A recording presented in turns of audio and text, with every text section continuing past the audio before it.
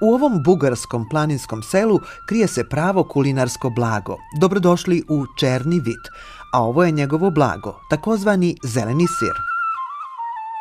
Това е едното от трите плесенни сирена в Европа, които са с естествена плесен и единственото такова сирене на Балканите. On se proizvodi samo ovde, pre svega zbog pogodnih klimatskih uslova.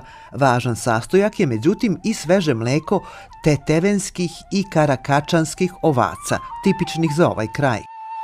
Има само 800 бройки от тях останали в света. Това е традиционен начин на направа на сирене в България.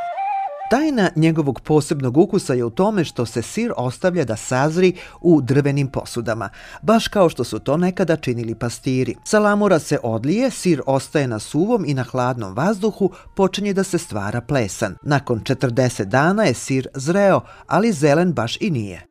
Тук в черни вид местния диалект нали, на всички продукти, които имат плесен върху тях, се казват зеленясали. И така дойде името зелено, зелено сирене. U eri industrializacije je zeleni sir nestao zajedno sa drvenim posudama. Tek 2007. ga je biolog Cvetan Dimitrov slučajno otkrio. Други хора а, бяха си забравили сирене, което беше образувало мухъл върху него. И когато те бяха решили, че ще го изхвърлят, аз го взех. U isto vreme je u Bugarsku stigao tim Međunarodne organizacije za zdravu, regionalnu i održivu ishranu Slow Food u potrazi za jedinstvenim lokalnim proizvodima. Видя се, нали, че като вкусови качества е в първата десетка в своите си класове и това доведе до възстановяването, именно популяризирането по-скоро на, на този продукт. Od tada Cvetan ima jednu životnu misiju. Putuje po Bugarskoj i traži recepte za zaboravljene vrste sira. Do sada je već prikupio više od 40.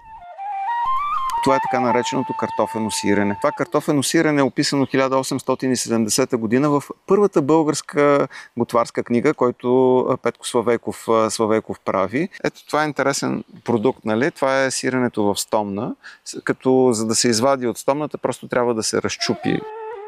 И ovaj sir je poseban.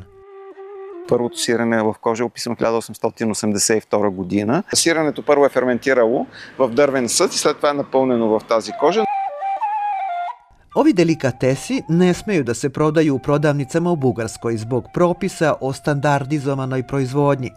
Već godinama se Cvetan bori protiv te zabrane. Запазването на храната означава, че ние съхраняваме и себе си, нали, като цяло.